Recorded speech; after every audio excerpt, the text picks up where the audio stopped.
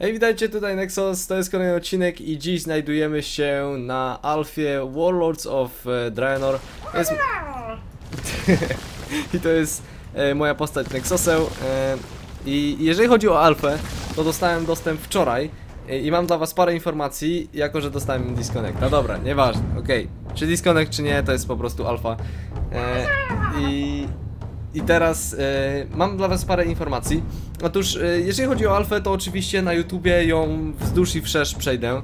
E, jest tutaj parę zmian, do których was wyślę na MMO Champion i, i będziecie mieli linka gdzieś tutaj, e, tudzież w opisie.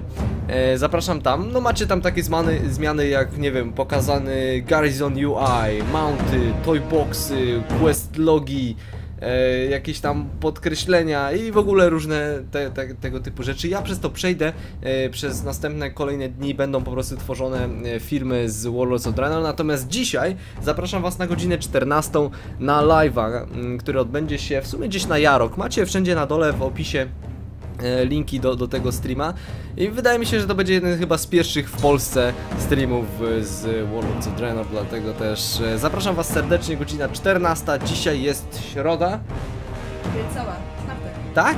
Czwartek, dobra, czwartek, jest, czwa... jest czwartek, e, czwartek, godzina 14, zapraszam Was, e, zapraszam.